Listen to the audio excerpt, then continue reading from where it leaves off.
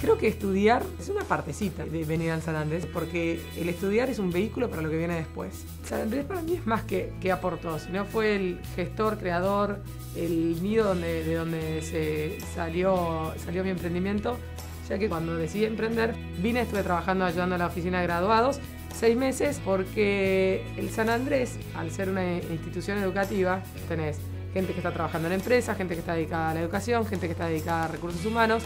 Y lo que me ayudó es a tener una mirada bastante global y bastante heterogénea de distintos tipos de empresas, distintos tipos de personas, distintos tipos de emprendedores.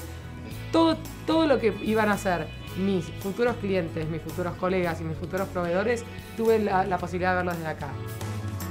Tener empresariado, tener meritocracia y tener globalidad me parece que son las cualidades que hacen que uno cuando ingrese tenga, tenga posibilidades. Todo esto porque aparte el sentimiento de pertenencia a la comunidad es muy fuerte.